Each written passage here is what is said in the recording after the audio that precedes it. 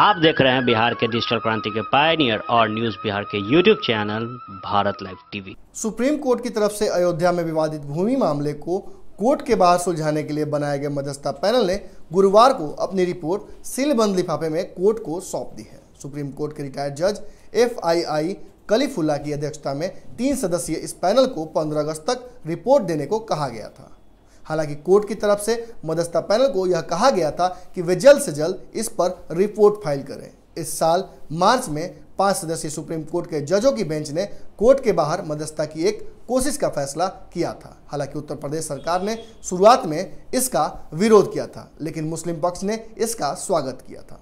आपको बता दें कि supreme court Allahabad high court के 2012 के उस फैसले के खिलाफ दायर याचिका पर सुनवाई कर रही थी, जिसमें 2.77 एकड़ भूमि को निर्मोही अखाड़ा, सुनी सेंट्रल वक्फ बोर्ड और रामलला के बीच बांटने का आदेश दिया था। चीफ जस्टिस रंजन गोगोई की अध्यक्षता में शुक्रवार को पाँच सदस्यीय बेंच इस पर आगे के कदम के बारे में फैसला कर सकती है। इस संवैधानिक बेंच में justice S A Bobde D Y Chandrachud, Ashok Bhushan और अब्दुल नजीर शामिल हैं।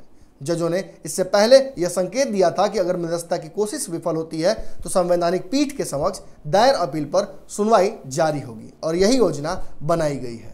आपको बता दें कि अब इस मामले में रोज़ाना सुनवाई होगी, यानी कि त्वरित तौर पर इसका अब निष्पादन किया जाएगा। ऐसे में उम्मीद बन रही है कि आने वाले वक्त में भले ही मध्यस्थता कमेटी ने कोई बीच का रास्ता नहीं निकाला, मगर कोर्ट अपना फैसला बहुत जल्दी देगी।